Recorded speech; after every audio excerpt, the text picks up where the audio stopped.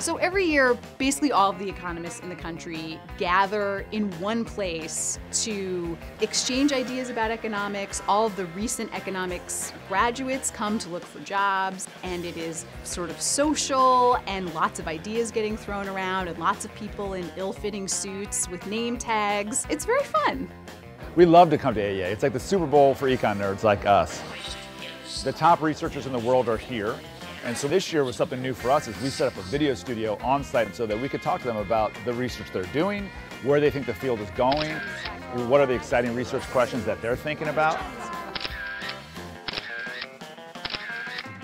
You know, we have like 10,000 economists all in one small area. And so that just the conversations you have at the elevator, at the, the line at the coffee shop, you're often talking with these great economists and they're just kind of blowing your mind with these new ideas and you're thinking, man, we should do something on that idea.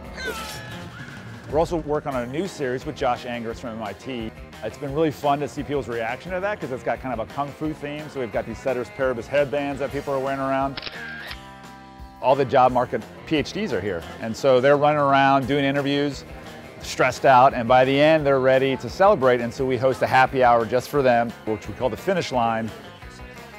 They get to come in, share some war stories, and celebrate. And so it's really exciting to go back and go through all the footage and edit it together and think about the next new series featuring some of these people. Click here to get notified when we release new videos. If you'd like to hear more about the conference, listen to this great episode from Planet Money. Still here? Check out these econ videos.